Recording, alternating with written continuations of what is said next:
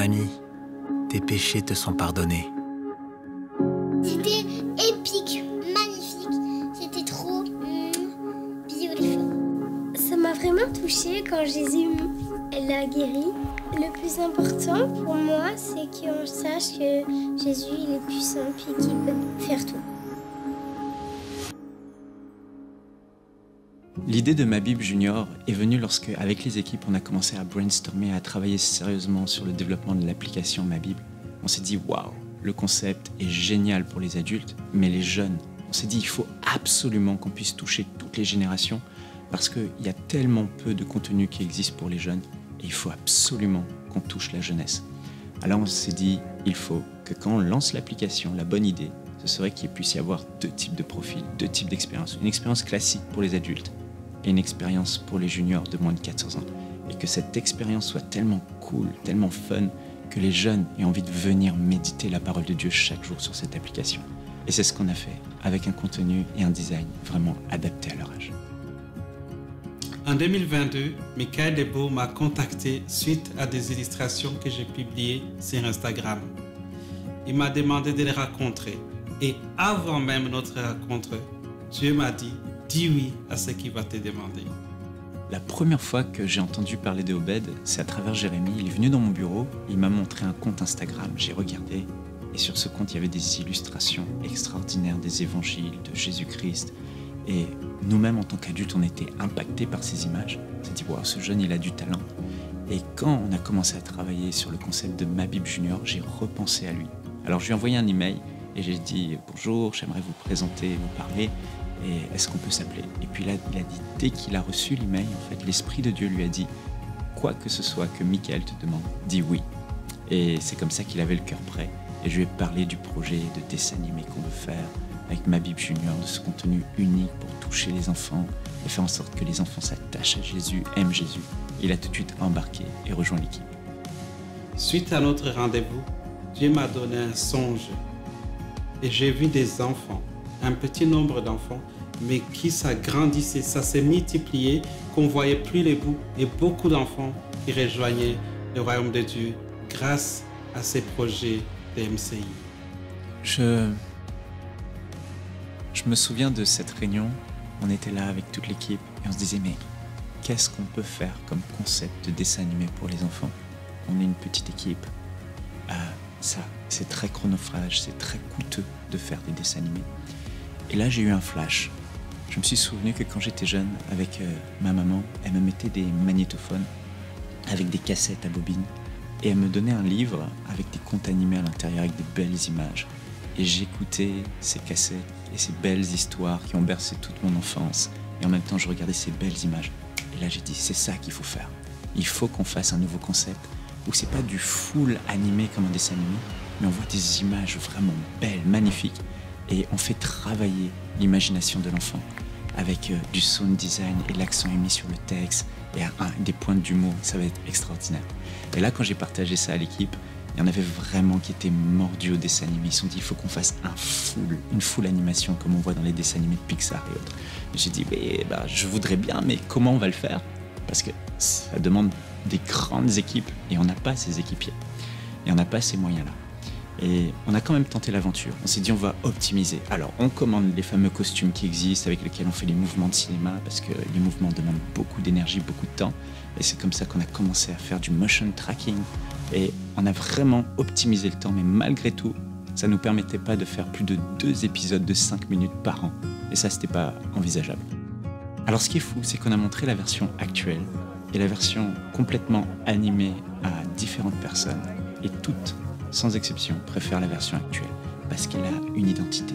Elle nous permet de nous concentrer sur le texte, euh, sur ce qui est dit. On n'est pas distrait par tout un tas d'animations. Et les images, on peut les travailler, elles sont beaucoup plus belles, avec euh, une emphase vraiment mise sur le sound design. Alors ce qu'on veut au final, c'est qu'il y ait de l'impact. J'ai eu l'occasion de faire des effets visuels pour Warner Brothers, Disney, comme Maleficent, Dr. Dolittle, King Kong et plusieurs autres. Les projets de ma Bible Junior, comme Jésus et le paralytique, on m'aurait dit, il y a un an, que ça a été fait par deux artistes, je vous aurais dit que c'est impossible. Juste pour vous mettre en perspective, des émissions comme Pat Patrouille sont faites par des studios qui ont plus de 400 employés.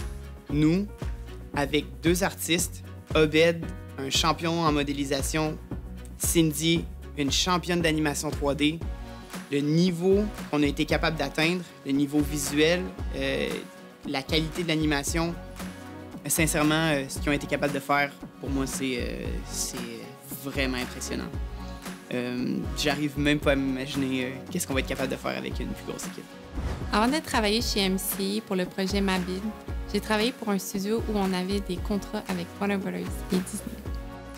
Mais après m'être convertie en 2020, malgré les bonnes opportunités de travail, où j'ai pu travailler sur Space Jam 2 et Désenchanted, je savais que le Seigneur m'avait conduit à travers mes études pour que je puisse utiliser mes talents pour le servir. Quand je pense à tout le temps que les enfants passent sur les téléphones, à jouer à des jeux ou regarder des dessins animés, je suis très heureux de me dire que bientôt sur ma Bible, on va avoir ce qu'on appelle l'expérience junior. Une expérience interactive, colorée, fun et pleine de jeux qui va aider à la fois les enfants à grandir avec Dieu, mais aussi à connaître la manière dont Jésus intervient dans la vie de tous les jours. Étant adulte, j'ai parfois la nostalgie de jeux et d'histoires que j'ai entendus quand j'étais enfant. Je crois qu'au travers de ma Bible, on est en train de laisser un héritage précieux à ces enfants qui vont s'attacher à la parole de Dieu. J'ai toujours voulu travailler sur des projets pour enfants. En fait, mon rêve, c'était d'un jour travailler pour Pixar. Mais maintenant, mon rêve, c'est vraiment de voir des millions d'enfants touchés, impactés par les projets Ma Bible Junior. Dès maintenant, faites partie des 20 000 partenaires mensuels qui porteront la vision de MCI et qui l'amèneront encore plus loin. Pour faire votre don, rendez-vous sur emcitv.com slash 20 000.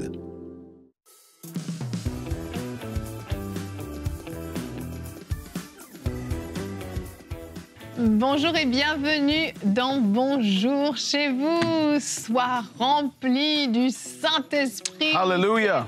Le thème avec lequel on va clôturer cette belle semaine et j'ai le plaisir d'avoir les deux cousins avec moi sur le plateau. Je ne sais pas si vous le saviez, mais Beaucoup ne le savent pas, Non, je crois, Evelyne. Frank et Sam sont cousins. Eh oui, bonjour Non. messieurs. Non. Ouais. Grosse révélation. Eh ouais.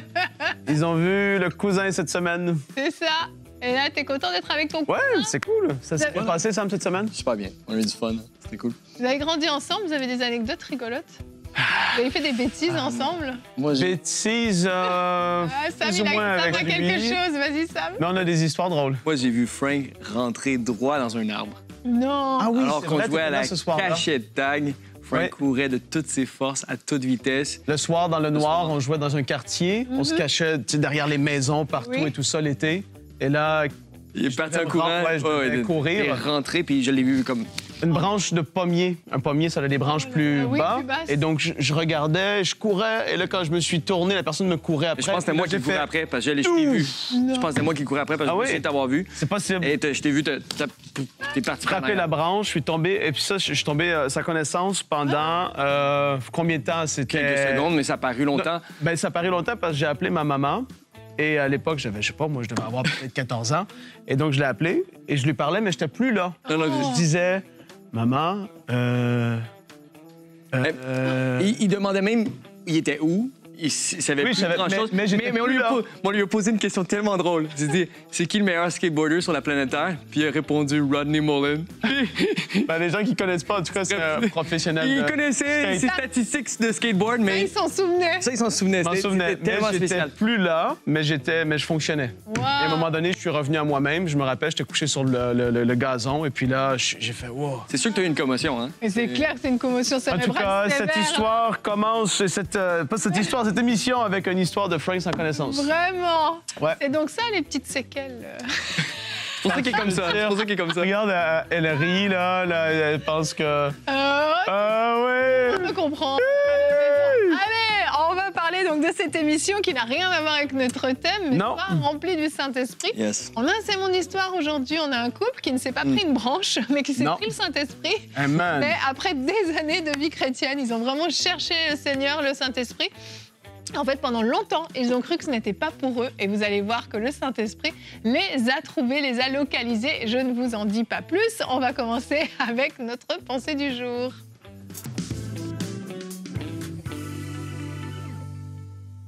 Eh oui, on parle du baptême dans le Saint-Esprit, in the Holy Ghost. Hallelujah. Et on parle de ça dans Actes chapitre 1, le verset 8. Et vous recevrez une puissance de Saint-Esprit survenant sur vous.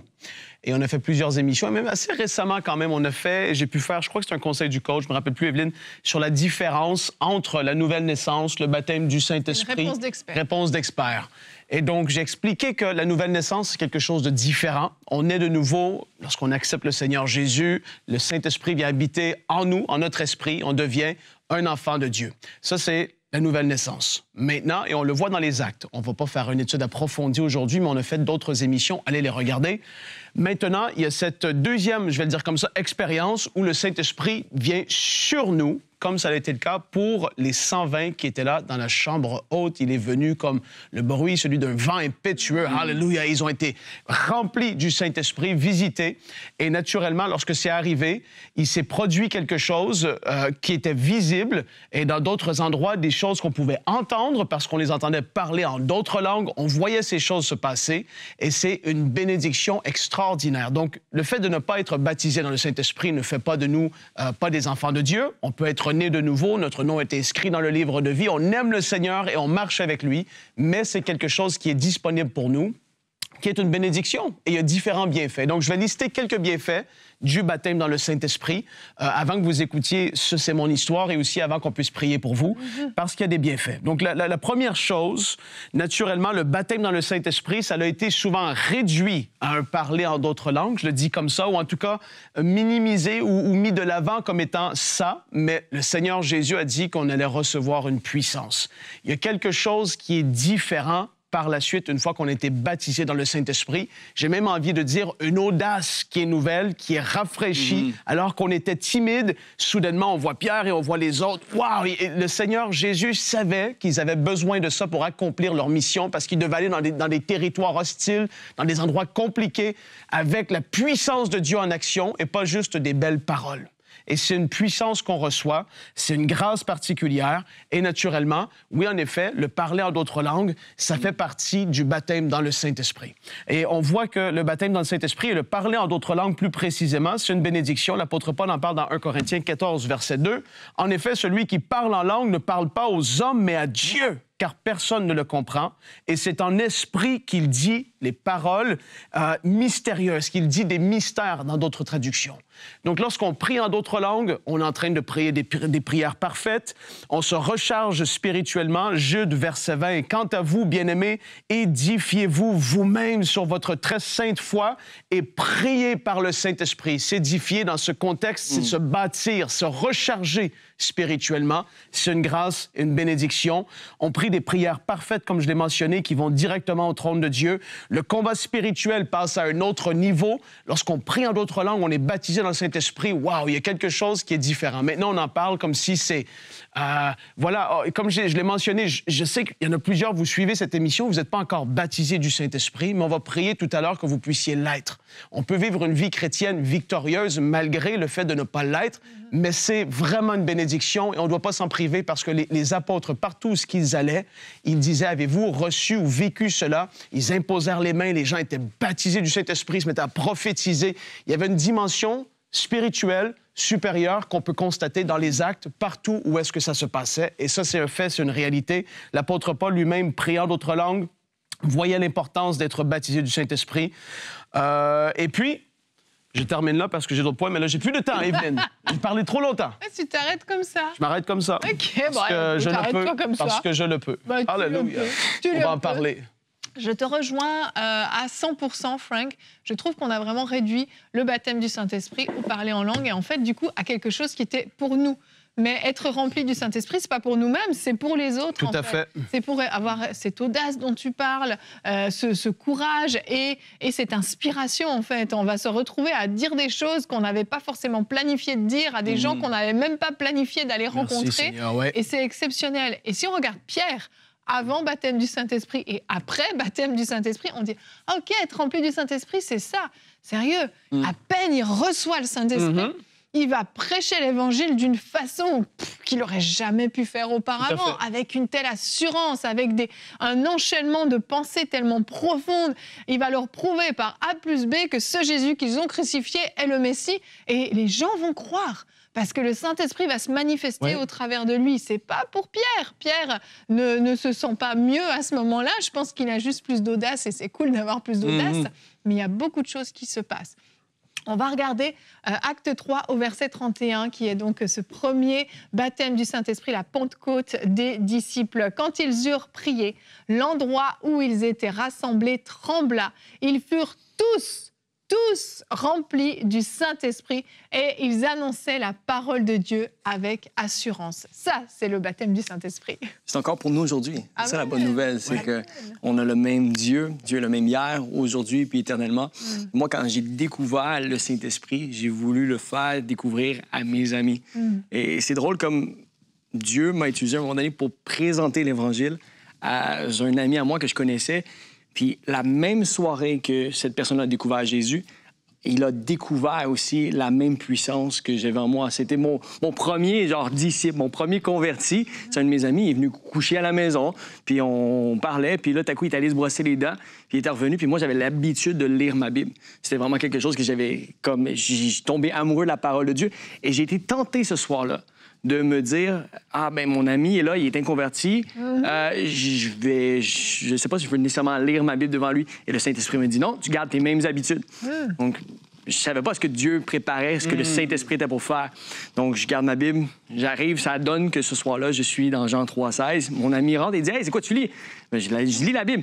Il dit Euh, Tu veux-tu me la lire? Il- il- Je lui lis les, les- les- les chapitres. Il me dit Ah, c'est quoi? Donc, toi, tu as donné ton cœur à Jésus, tu as, vécu cette nouvelle naissance-là? Oui, absolument. Et donc, pour le coup, j'ai- je me suis senti ben, vraiment encouragé par le Saint-Esprit de lui présenter l'Évangile. Je lui ai présenté l'Évangile. Il a donné son cœur à Jésus. Et un instant après, Dieu m'a dit, tu ne t'arrêtes pas là. Il dit, tu, tu vas lui présenter le Saint-Esprit. Et donc, j'ai prié avec lui instantanément, sans que je lui explique tout. Tu n'as pas fait un enseignement Non, d'une heure. sans, sans que je lui explique tout. Et le Saint-Esprit est venu dans la pièce parce que le Saint-Esprit est là, qui attend juste là de se manifester. Et mon ami qui ne savait pas ce qu'il faisait s'est mis à parler dans d'autres langues. Ça allait encore plus loin parce qu'il n'y a pas juste eu le don des langues qui s'est manifesté, il s'est mis à prophétiser sur ma vie. Et moi, à ce moment-là, ce qui se passe, c'est que j'étais dans une euh, relation avec une, une fille qui n'était pas nécessairement la bonne pour moi. J'avais une petite copine, puis, euh, puis il s'est mis à prophétiser que j'étais dans la mauvaise relation, puis ci, puis ça. Puis c'était plus lui qui parlait, mais c'était Dieu. J'ai comme, mais comment Dieu a fait pour te révéler des choses qui sont cachées dans mon cœur?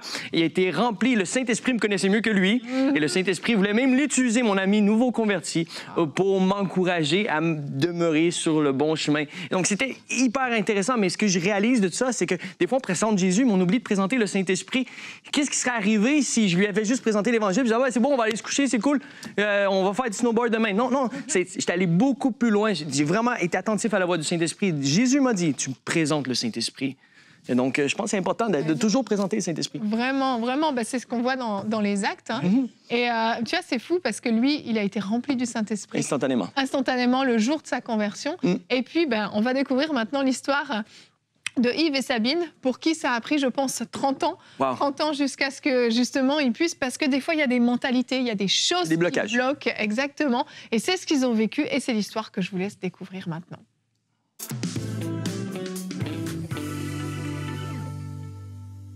Et on se retrouve pour notre rubrique C'est mon histoire. Et aujourd'hui, j'ai le grand plaisir d'avoir moi un couple, Yves et Sabine Duprat, qui nous viennent tout droit de la Suisse. Bonjour à vous, chers compatriotes.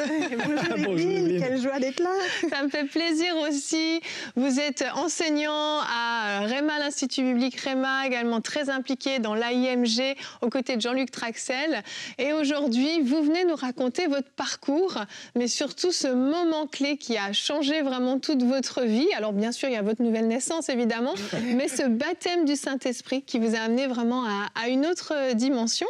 Euh, Sabine, je te propose de, de commencer, de nous raconter un petit peu ton, ton parcours, ton enfance. Tu es née dans une famille chrétienne, toi, c'est ça? C'est ça. J'ai fait tout le parcours, on va dire, d'un enfant qui naît de- d'entre deux pages de Bible. Hmm, C'est bien dit. Et, voilà. Et euh, c'est vrai que j'ai suivi le cursus de l'école du dimanche, comme on l'appelait chez nous, le catéchisme. Mais j'ai eu un événement vraiment qui s'est passé vers l'âge de 8-10 ans, je ne me rappelle pas exactement. Ce jour-là, j'ai fait le culte avec mes parents. Je ne sais pas pourquoi j'étais pas avec les enfants. Mais au moment de prière, bah, c'était une église assez petite où les gens prient pendant le temps de prière spontanément. Et une dame s'est mise à parler dans une langue que je ne comprenais pas. Et le midi, au repas, je demande à mes parents, euh, c'est bizarre, cette personne qui, elle, par- elle venait de quel pays? Elle avait un drôle de langage. Et mes parents se sont regardés et ils ont échangé un regard et ils m'ont rien répondu. Et j'ai senti dans ce regard comme une gêne, comme si j'avais posé la question qu'il fallait pas. Et pendant plus de 30 ans, on va dire, ça, ça m'a gardé, on va dire, empêché de connaître qui était. Au fond de moi, je pense que je savais que c'était le Saint-Esprit parce que quand on est, j'étais née de nouveau, j'avais déjà donné ma vie en tant qu'enfant à Jésus, mais euh, je pense que le Saint-Esprit, je devais le connaître sans le connaître. Et euh, chaque fois qu'on parlait de- de- du Saint-Esprit dans une réunion, quand j'étais adolescente et tout ça, j'avais envie de disparaître sous terre parce que je dis c'est pas pour moi. Je dérange au fait, ça me dérange et c'est pas pour moi, c'est pour les autres qui sont mieux que moi. Comme si ce malaise, en fait, qu'il y avait eu euh, ce fameux jour où tu as parlé à tes parents, avait mis un espèce de tabou Oui, sur le Saint-Esprit, Totalement, ça? oui. Mm. C'est fou. Voilà, et chaque fois qu'on en parlait, j'étais très très mal à l'aise. Mm. Et c'était jamais, on- chaque fois qu'on pro- proposait qu'on parle en langue, même adolescente, j'y allais jamais parce que je savais que c'était pas pour moi. C'est fou, c'est fou. Et toi, Yves, euh, pardon, quel est ton parcours? Alors moi, c'est mes parents, ils sont très respectueux, on va dire, et très respectueux de la foi. Ils ont fait tout ce qu'il fallait faire en tant que bon chrétien, on va Mhm. dire. hein. Donc ils ont mis leur enfant, moi-même, donc à l'école du dimanche de, l'église officielle de l'État. Mais surtout, moi, je me souviens, par obligation, mes parents, ce qu'ils faisaient, c'est que bah, chaque soir, le rituel du, du coucher, mon père s'asseyait au pied de mon lit et on récitait le Notre Père ensemble. Hmm. Et ça, c'est quelque chose qui reste gravé là. Et je, je l'ai- je l'ai toujours en mémoire. Et je pense qu'à ce moment-là, sans se rendre compte, par obéissance, ils ont semé quelque chose dans mon cœur. Ouais. Et toi, tu vas connaître le Seigneur à quel âge, Yves? Euh, vraiment, c'est vers l'âge de 16 ans, ou parce que j'étais engagé auprès des scouts évangéliques, on va dire des scouts euh, chrétiens. Et ben, je devais passer au stade où je devais devenir euh, chef, où je devais apporter la parole de Dieu aux enfants. Et là, c'est Yves, il faut que tu te décides. Soit tu, tu mens aux gens, soit tu fais un pas. Et là, c'est vrai, j'ai dit, bah, Seigneur, go, on y va, on y va avec toi. Et j'ai aussi un moniteur, c'était un camp, un moniteur extraordinaire qui a vraiment donné euh, tout son témoignage, super beau, des petits, des petits clins d'œil comme ça tout au long du camp qui m'ont fait voir que Dieu existe pour de vrai et qu'il est vraiment vivant. Des miracles comme ça qui s'opèrent tout au fil de la semaine, c'est plus possible de dire qu'il n'existe pas. Quoi, quand Exactement. Et au niveau du Saint-Esprit, toi, on t'en avait parlé, on t'avait enseigné sur le Saint-Esprit? Alors moi, j'ai eu une soirée une fois avec un groupe de jeunes où c'était la soirée euh, pour recevoir le parler en langue. Super, on n'en parlait pas avant, on n'en parle pas après, mais c'est cette soirée-là. Donc on vient, on est là, et puis euh, on n'explique pas vraiment comment ça fonctionne, euh, si ça va bouger tout seul ou pas. hein. Et puis bah, c'est là, puis celui d'à côté parle en langue, celui d'à côté parle en langue, mais moi pas. Puis merci, bonne soirée, au revoir. Et toi, est-ce que tu te dis un peu comme Sabine, du coup, si les autres l'ont reçu et pas moi, ça veut dire que c'est peut-être pas pour moi Ou t'as pas cette réflexion-là? Ouais, c'est c'est pas forcément pas pour moi, mais j'ai ouais, j'ai pas reçu, bah alors j'ai pas reçu. Oui. Et puis j'ai peut-être autre chose. Puis on se console après par plein de choses. En fait, on se met plein de, comme on dit chez nous, des sparadraps. Hein, on se met plein de des pansements, voilà, pour, euh, pour dire ah oui, mais tu sais jouer de la musique ou tu es doué dans tel ça. domaine, tu fais bien du dessin, tu fais bien ceci. Et puis ah oui, moi je sais faire ça, mais ça me console en quelque sorte. Mais on sent quand même au fond qu'il y a quelque chose qui manque. Oui, et moi j'entendais que c'était le moindre des dons. Donc tu sais, moi à l'époque je jouais de la flûte et ils aimaient bien. Donc ils disaient tu joues bien de la flûte, tu as un don pour ça. Donc c'est euh, parler en langue, c'est un moindre don. Donc toi tu as un don qui est mieux. Oui, c'est ça. Du On coup, ça, donnait cette impression que bon, c'est pas si grave, Voilà. c'est pas si indispensable que ça. Ouais. Et là, donc, vous allez vous rencontrer en cours de route, vous allez vous marier. On a une très belle photo de votre mariage. Yves, je salue ta coupe de cheveux. J'ai changé depuis. Hein. Et euh, là, vous vous mariez tous les deux, vous cheminez avec, euh, avec le Seigneur. Est-ce que vous parlez des fois du Saint-Esprit ensemble Euh, dans nos expériences, oui, communes, parce Mhm. qu'on a retrouvé les mêmes, euh, les mêmes choses, la même gêne, le même euh, Mhm. conflit intérieur, on va dire, par rapport à ça. On se tapissait à chaque Et- réunion où il y avait des barils en langue, c'est ah, encore une fois, encore un de ces trucs où il va falloir passer 10 minutes à attendre que ça finisse. Et on comprend rien. Exactement, c'est ça. Chaque fois qu'on avait l'occasion de, de- d'aller chercher ce Saint-Esprit, d'aller demander ce baptême, au fait, on n'y allait pas parce qu'on était trop gênés et trop mal à l'aise. Et on a fini par, euh, on va dire, capituler devant le Saint-Esprit parce que voilà, ce serait trop long de raconter ce le tour de passe-passe qu'il a fait avec nous, le Saint-Esprit, pour qu'on s'inscrive à une école qui s'appelait une école de louange à l'époque, mais c'est plutôt une école de disciples. euh, voilà. Et euh, la première fois qu'on y va, on fait toute la journée. C'est, c'est un pasteur, un, un monsieur qui est déjà bien âgé. Euh, Bien du terroir voilà. vaudois, avec un accent, un, un fermier, quoi. Vraiment, c'est un vrai terrien. quoi. Voilà. Voilà, exactement. Puis un grand papa. Donc, Mhm. Et le soir, il dit ben, ce soir, on va tous parler en langue, ça va être extraordinaire. Et là, Et là, on était tellement. On avait juste envie de disparaître sous la chaise. Et il y a un ami qui était aussi là et qui a levé la main, qui a dit Ça fait quoi si on ne parle pas en langue? Puis il était quoi? Vous êtes dans une école, vous ne parlez pas en langue. Puis on était là Qui ne parle pas en langue? On devait presque prendre le doigt pour le lever. Et euh, finalement, on était presque la moitié des étudiants, sur la vingtaine qu'on était, la moitié n'avaient pas reçu ce baptême. Et beaucoup des étudiants qui nous entouraient étaient déjà impliqués, étaient Dans au service dans l'église. Mhm. Donc nous, on croyait tous qu'ils l'avaient, qu'en fait. Bah Puis en fait, bah non. C'est vrai que c'était un espèce de tabou collectif et Voilà. presque une honte un petit peu de Mhm. dire je suis pas baptisé du Voilà. Saint-Esprit.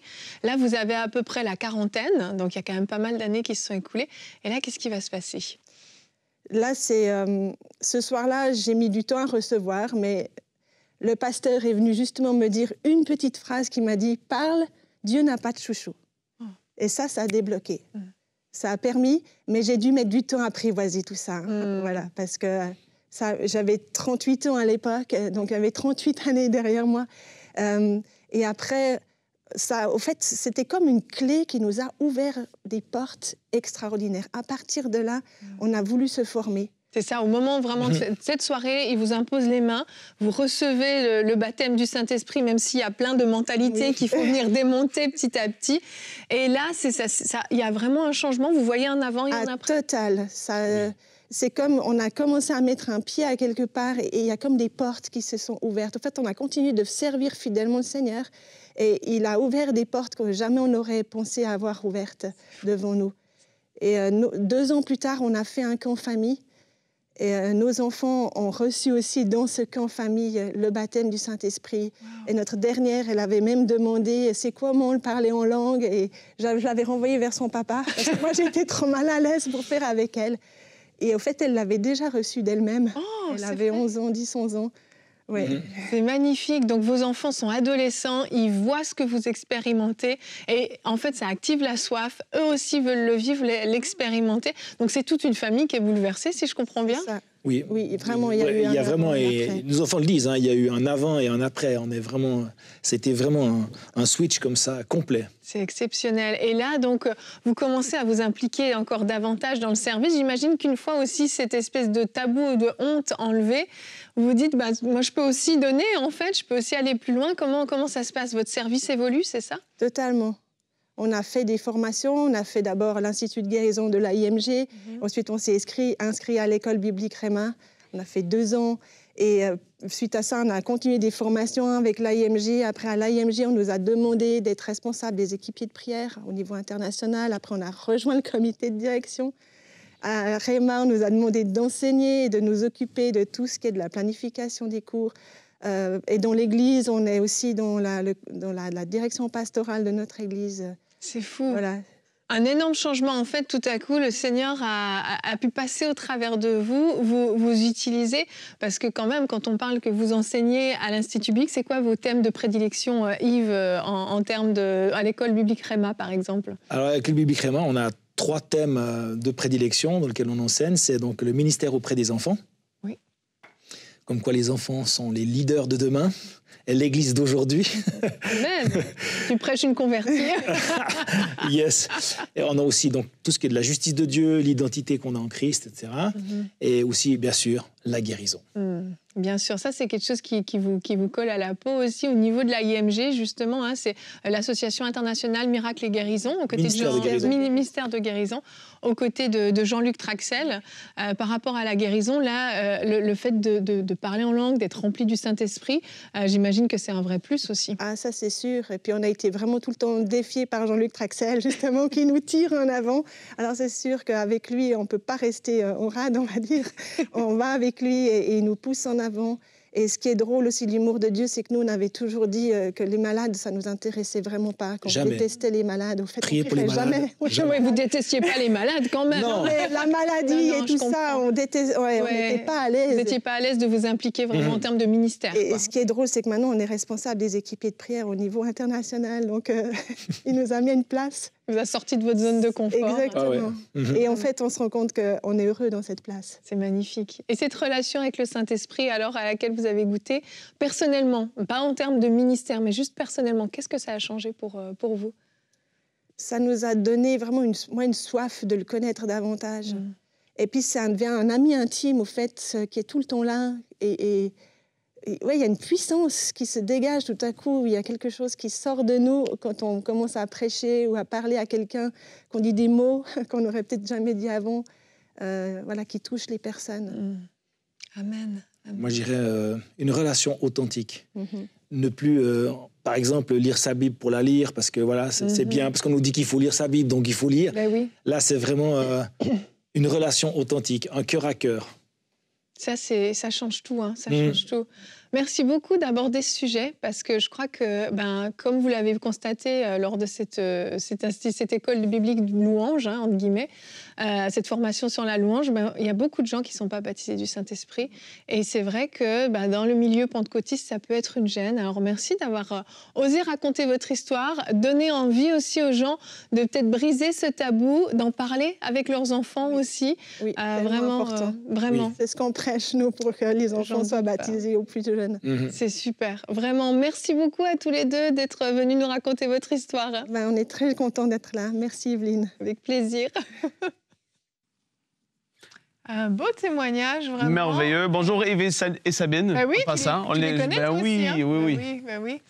Ça a été un super. C'est mon histoire. Et là, comme ils ont dit, avant de prier pour vous, très simplement, je veux juste rappeler, comme on le dit, c'est une expérience suite à la nouvelle naissance qui peut arriver tout de suite. Comme Samuel le décrit tout à l'heure, c'est ouvert pour tout le monde. Vous avez vu les blocages qu'eux, ils ont pu avoir, ça a été un peu déconstruit. Et aujourd'hui, c'est pour vous.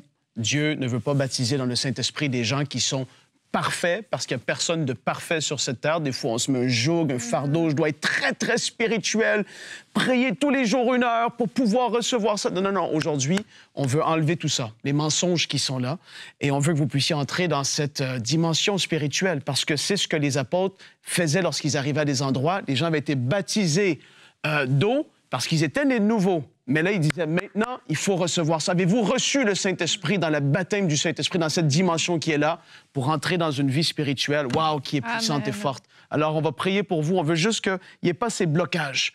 Et c'est ouvert à vous aujourd'hui, vous qui suivez, qui êtes nés de nouveau. C'est une grâce particulière. Mhm. Sam, je te laisse prier pour euh, nos amis à la maison. Absolument, absolument. Mm. C'est temps que vous recevez ce cadeau. Amen. Le Père nous a donné son Fils, mais Jésus ne nous a pas laissé orphelins. Il nous a donné son Esprit Saint. Amen. Et le Saint-Esprit, c'est le plus beau cadeau que tu peux recevoir aujourd'hui. Il est ici, en ce moment-là où tu te retrouves. Il n'y a pas de distance à l'Esprit de Dieu. Amen. Le Saint-Esprit est déjà en train de remplir quelqu'un alors qu'on prie, qu'on parle. Merci, Saint-Esprit, parce que tu es présent. Fais juste ouvrir à lui.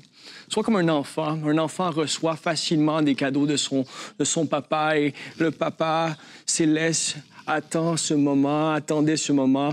Ça fait trop longtemps. Et aujourd'hui, Jésus baptise encore du Saint-Esprit. Saint-Esprit, merci parce que tu es à l'œuvre, tu te manifestes.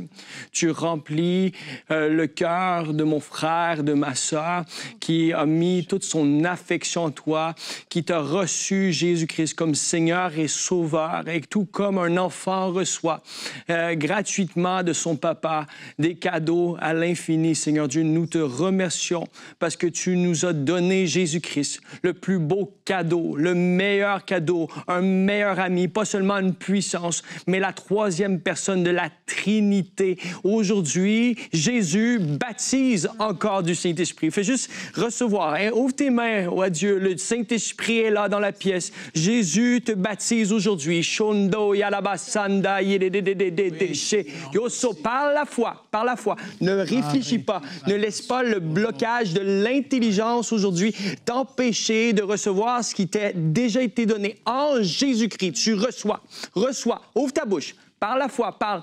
Ne comprends pas, n'essaie pas de comprendre, fais juste ouvrir. Laisse ce euh, que tu as reçu de la part de Jésus-Christ sortir de ta bouche. Aujourd'hui, Shonda, avec toi, à trois, on va le faire ensemble. Un, deux, Trois, par la foi, tu ouvres ta bouche. Merci, doux Saint-Esprit. Merci, puissant Saint-Esprit. Nous te remercions pour l'affection que nous recevons de notre Père céleste, car tu nous as placés en Jésus-Christ et le même Esprit qui l'a rempli, remplit aujourd'hui ton Église. Tu baptises encore et encore et encore et tu remplis nos frères et nos sœurs qui font appel à toi dans le nom précieux précieux de Jésus. Oui, merci. Amen. Amen. Merci, Seigneur. Merci, merci beaucoup. Sam et euh, Samuel a, pri- a prié pour mon fils et il a été baptisé du Saint-Esprit. Et euh, vous savez, les, enfants reçoivent vraiment un très Ils reçoivent moment. plus facilement que les adultes parce qu'ils viennent à Jésus Mm. tout simplement avec un cœur humble et simple. Vraiment, vraiment. Et ça change tout. Vraiment, n'ayez pas, n'ayez pas peur. Et, et c'est pas parce que vous vous êtes pas mis peut-être à parler tout de suite que vous n'avez pas reçu. Des fois, c'est la peur qui empêche juste d'ouvrir la Moi, je l'ai bouche. reçu après la réunion, après qu'on ait prié pour moi, Mm. alors que j'étais dans la douche en train de prier. Eh ben, Donc, euh, Vous voyez, vous pouvez le recevoir donc à tout moment, n'ayez pas peur. Et puis que le Seigneur vous bénisse vraiment. Sam, merci d'être venu nous voir. À bientôt, tu reviendras nous voir. plaisir. Et euh, je vous souhaite un très très bon week-end. Et si vous avez été baptisé du Saint-Esprit, continuez à parler en langue. N'attendez pas Ouais. une autre émission. Parlez en langue. Arrêtez-vous, reprenez. Vous pouvez prier en langue dans votre voiture, sous la douche, en faisant la cuisine, la vaisselle, peu importe. Oui, Sam? Et ne croyez pas les mensonges du diable que vous avez inventé ce que vous venez d'e- d'expérimenter. Amen, amen. Et envoyez-nous votre témoignage, emcitv.com slash témoignage. Racontez-nous comment vous avez vécu cette expérience. Passez un très bon week-end. À lundi. Bonjour chez vous.